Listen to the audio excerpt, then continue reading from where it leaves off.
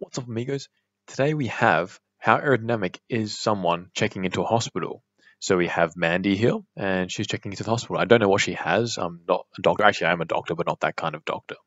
Um, but you can see the streamlines.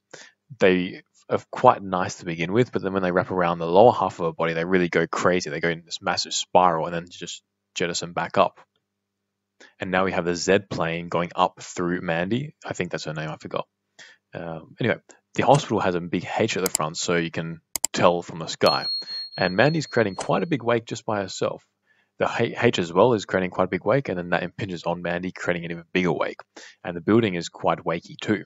You can see that the flow accelerates around the corner and around over the H. So you have even greater fast, move, faster moving flow, I should say, hitting Mandy.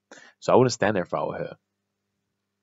And now these animated streamlines show that wake behind Mandy, so that bottom half, how it just spirals around and then just pops back up, whereas the top half just remains fast and even accelerates well past the 20 meters per second free stream velocity. It's up over 28 meters per second now. I don't know how high it is, maybe 32.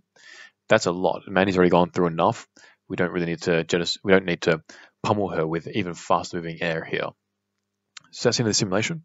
Make sure to like, subscribe, and check out the CFD courses we put on to make you a better CFDer. Link in the description. And I'll see you next podcast. Peace out, amigos.